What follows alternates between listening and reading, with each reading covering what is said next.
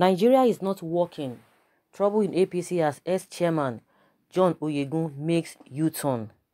The former national chairman of the All Progressives Congress APC, Chief John Odigie Oyegun, has said that the country is not working, adding that the people are losing faith in its leaders. Oyegun made his comments while speaking at the 17th edition of the Daily Trust Dialogue. He revealed that there was an active threat to the nation's democracy in his words. I borrow from what the former governor of Borno State, Kashim Shettima, said. He passionately appealed that we must try to make Nigeria work. Why is Nigeria not working? At the risk of being misinterpreted, let me make the point that we have been growing in those 20 years, every year and with every administration. I dare to even say that there is hardly a single administration of in those 20 years that has not left office on unpopular and unheralded. We have never asked ourselves the question why are people getting increasingly unhappy with their governors within those 20 years? Why are they getting poorer? Why are they losing hope? Those are the questions I think pose a threat to our democracy because today we are beginning to hear rumblings that we didn't hear before. Wow, I don't even know what is happening these days because it's like all these, uh, you know, few of the APC uh, chieftains, strong member in the APC, they are beginning to say the truth.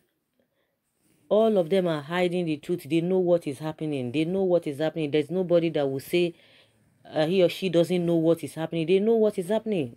And what people have been saying, those are the real truths. I don't know how long they will continue to hide the truth, not coming out to say the way, say things just the way they are. Of course, there's no doubt, right from time, right from time immemorial, people have been complaining about governance, about how our leaders have been behaving, whether they are behaving well or they are misbehaving, but people are complaining. The poor are getting poorer, the rich are getting richer, and the lucrative, most lucrative job in Nigeria is just being a politician. That's it. Once you are there, that is the end of the whole thing.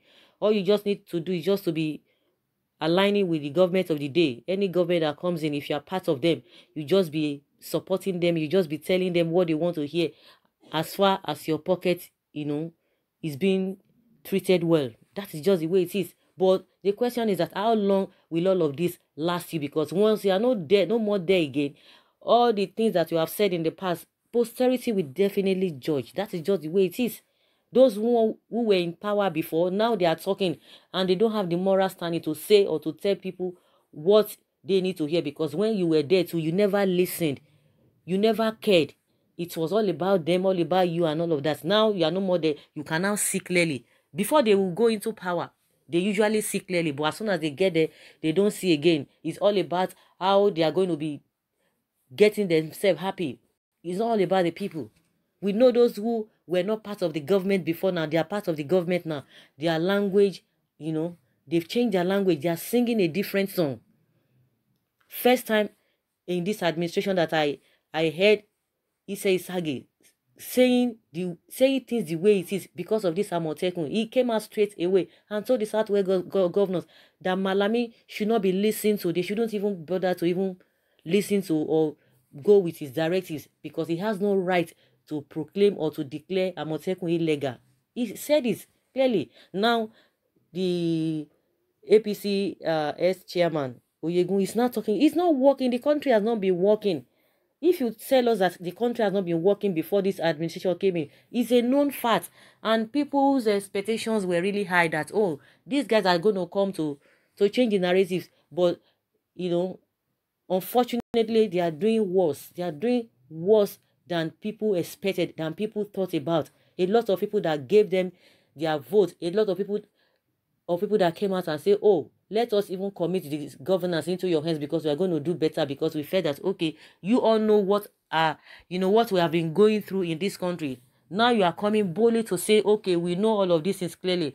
And they came with that uh, enthusiasm that they will change the narratives. But unfortunately, they came and they started dishing out their own agenda not knowing that their agenda is different from the agenda uh, the Nigerian people have. And it's unfortunate.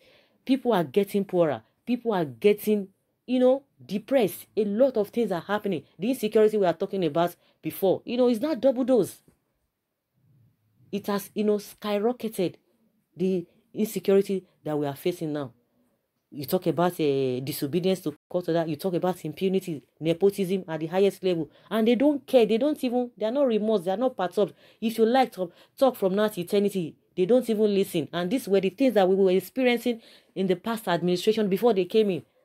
Unfortunately, they came and you know begin began to give it in a in a double dose, triple folding, triple folds, even to Nigerians. And yet a lot of people don't even get it. Some people are now comfortable with the situation on ground that it is the best thing. And some people are saying, no, no, no, no, no, no. It's not everybody that can be boxed. It's not everybody that can be put, you know, in a corner. It's not everybody that will be trampled upon. They will not agree to that. And that's why you you see pockets of people still saying, coming out to say things just the way they are, irrespective of the fact that people are still castigating them that go and sit down, go and do this, go and do that. But at the end of the day, a lot of them are still suffering and smiling. Once they see people who are going to speak the truth, yet they will see they will still be castigating them. So there is nothing uh, Chief Oye, Oyegun wants to wants to tell us now that Nigerians do not know. He's just trying to confirm. He's just trying to say, okay, it is true. They've been denying it all this while. They've been denying it, but now he's coming out to say, yes, things are not working, and that is just the, the truth of the matter. I'm sure uh, they will not say, oh, he's not benefiting again from a uh, corruption or because uh, okay, of course there are people will still come and say, oh, because he's no longer the the uh, APC chairman. So that is why he's speaking. So he doesn't. It's not relevant. He doesn't have electoral value. They will say he's a paper paper weight. He doesn't have weight. So because he has not been given some privileges again, maybe the privileges he was having, you know, has been stripped off him, and that is why he's talking. Whether they like it or not, it that is just the truth. That is just the truth. After all, he says Sage is still the head of uh, anti-corruption. One thing, one thing. Yet he came out and said the truth. No, that the position of the AGF is not the right thing. It's not the right thing. So if they like, let them be deceiving themselves. The ones who will see the truth and will not say it. Even concerning this Amotekun that we've been talking about, the vice president has not even said anything. We've not heard about him. He has not said anything. The same thing when the issue of uh, was ongoing. He never made a statement concerning uh, uh, what was going on, concerning the disobedience to court order. The only thing he just said, oh, he didn't want to go for an award or whatever that was that was arranged that he wanted to go and get an award that you know it would be insensitive of him to attend that uh, award uh, program because Oshowore was incarcerated, incarcerated or whatever. And that was what he said. But for you to say, okay, okay, no, the government is right in this manner, the government is not right in this manner, he couldn't say anything. It was the same Itse Sagay that was just trying to, to be on the fence. He was just on the fence. He was not just even coming out. He was just trying to, you know, say, okay, they should just uh, they should just do whatever the DSS wanted them to do. Then if after that, if they don't release the Omoshe should worry them, they will know that, I mean, that means there's something that uh, DSS, you know, was looking for. At least he was able to, we, we knew his stand concerning that. Now that we are talking of Amotekun, he was the first person that just came out, even before Falana and the rest people came out to make their submission known. He was the first person that just said, no, no, no, no, no. This is a no, no, no, no, no. We can't continue like this. So what Oyegun is saying is not a out of place. They are in the same party. But why is it that they are not telling themselves the truth? Of course, maybe they don't even have access since they have cabal even the president's wife is complaining that the cabals are not even allowing her to see her husband. She does not have a pillow talk with her husband. Her husband will give directives. They will do something else. She has been crying all this while. We've not even heard uh, from her lately. So if uh, the president's wife could not even have access to, to her husband, then how do you expect Oyegun to even have uh, access to him? To the extent that they will even tell him, these are the things happening. These are the situation on ground the cabals, I don't know their own setting with the president. He listens to them. He doesn't listen to anybody. And that is why it will even be difficult for this man to even say anything. Everybody is trying to say he should say something that where does he stand? Tinubu as well, where does he stand? The only thing is just for for them to be patching the the federal government. So this is not a new to Nigerians, but they are in the same party. They should advise themselves Chief Oyegun should advise, is one of the chief things in the party. He should advise the government on what to do because at this stage in time, they cannot be blaming PDP again. This is the fifth year. They cannot be blaming PDP that it was PDP and all of that. Then what did you bring to the table? Or does it mean you were trying to work on the glory of the PDP because that means you didn't have anything to offer? Because if you con continue to complain of PDP, of course they don't even say that now because it will be shameful for them to even be referring to what PDP did. What have you brought to the table? This is the fifth year. Someone says here that he has said it all as it is. Hope, but hope EFCC will not go after him with one funny allegation. Someone say you have spoken the mind of the people. Yes, whether they will not go after him, he has said his mind. oh, that is the trending thing.